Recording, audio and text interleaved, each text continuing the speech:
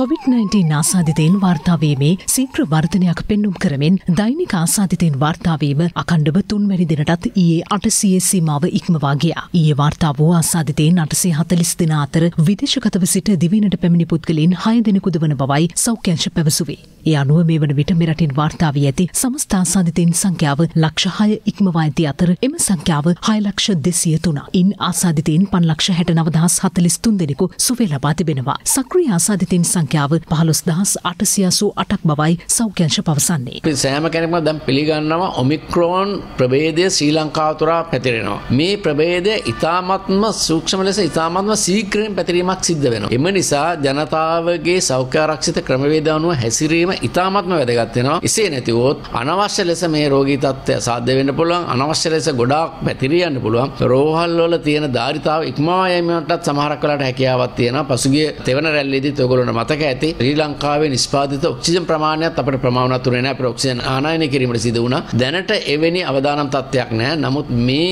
අවදානම් තත්ත්වයන් ඇතිවීම වළක්වා ගැනීම සඳහා රටේ ජනතාවගෙත් ඉතා විශාල වගකීමක් තියෙනවා. ගල්ල රුහුණ ජාතික අධ්‍යාපන විද්‍යාපීඨයේ ගුරු සිසුන් හතලිස් දෙදෙනෙකුට COVID-19 ආසාධනය වී තිබෙනවා. ඒ ඊයේ එහි ගුරු සිසුන් හැට හතර දෙනෙකු රැපිඩ් ඇන්ටිජන් පරීක්ෂාවකට ලක්කිරීමෙන් අනතුරුවයි. මිරිකම හාපිටිකම අධ්‍යාපන විද්‍යාපීඨයේ ගුරු සිසුන් පනස් දෙනෙකුටද COVID-19 ආසාධනය වී තිබෙනවා. අපේ රටේ ආවේ නැතුවට හැමතැනම දැන් රැලි ඇති වෙලා තියෙන්නේ. අපිට ඕන වෙලා තියෙන්නේ රැල්ලක් එනකල් බලාගෙන ඉන්න එක නෙවෙයි. අපිට කරන්න ඕන රැල්ලක් ඇති නොවන ලෙස කටයුතු කිරීමයි. ඒකට පැහැදිලි ක්‍රියාමාර්ගය අපි කවුරුත් දන්නවා. සෞඛ්‍ය පුරුදු අනුගමනය කිරීම හරහා මේ රෝගීන් බොහෝවීම පැතිරීම වළක්වීමෙන් රෝගීන්ගේ සංඛ්‍යාව අඩු කරන්න පුළුවන්. ඒ වගේම වැඩිවීම වළක්වන්න පුළුවන්. ඒ වගේම දැඩි සත්කාර ඒකකවල ඒ වගේම ඔක්සිජන් වල අවශ්‍යතාවය ආදිය ඇතිවීමට අවම කර ගැනීම සඳහා සෑම කෙනෙක්ම નિયમિત එන්නත් මාත්‍රාව ලබාගෙන සිටීම වැදගත් වෙනවා. මේ අතර පෙරේදා සිදු වූ ආසාධිත මරණ දාහතක් සෞඛ්‍ය සේවා අධ්‍යක්ෂ ජනරාල්වරයා ඊයේ තහවුරු කිරීමත් සමග සමස්ත ආසාධිත මරණ සංඛ්‍යාව පහළොස් දහස් දෙසිය හැත්තෑ දෙකක් දක්වා ඉහළ ගියා.